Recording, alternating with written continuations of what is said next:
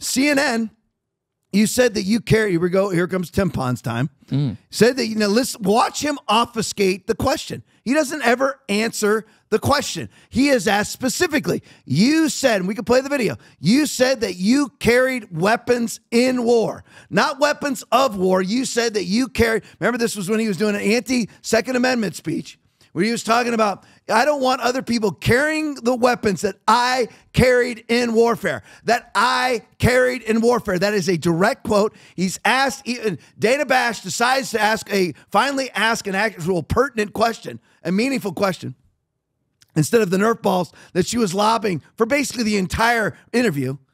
But so she asked him a legitimate question. Watch Tim obfuscate the answer. Play for me, Ness. The uh, country is just starting to get to know you.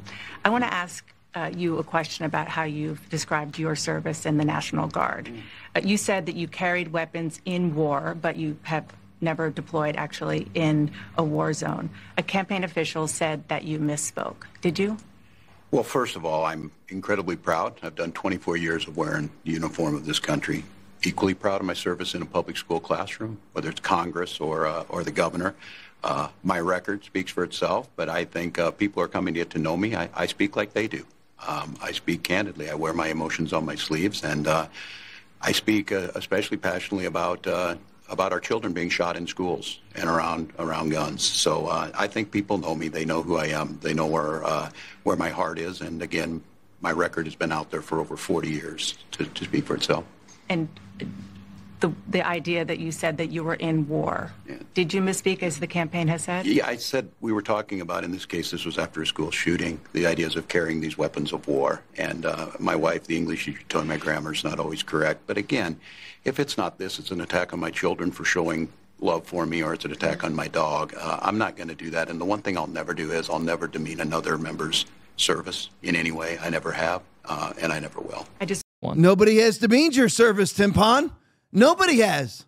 Nobody has demeaned your service at all. We are talking about you lying about your service. And automatically, when he's asked by Dana Bash, you said that you carried weapons of war when you were never deployed to a war zone. That has nothing to do with your service. Me attacking your service was, would be National Guard sucks. What were you doing in Italy? I mean, all you know, all you ever did was go to Italy. Problem with him being in Italy is that he was claiming that he was at Bagram Air Force Base at the time he was stationed in Italy. True. That's the problem. Nobody's attacking Tim service.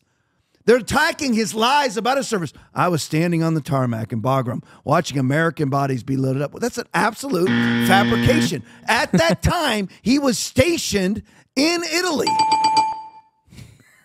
That's it. He's just bold-faced lying, absolute bold-faced lying. Answer the question, and he never actually did. He said that his grammar was bad. Uh, It's that's not a grammatical problem. Grammatical problem is we can do what we've accomplished so far.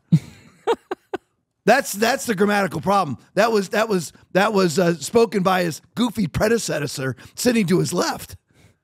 And by the way, why on earth does CNN have that showing as live? liars, Pravda Media liars. Wasn't live. It was recorded, and the uh, Harris Walz campaign refused to release the transcripts of it. Why would you want? I'll release the transcripts of everything I do. Why won't they?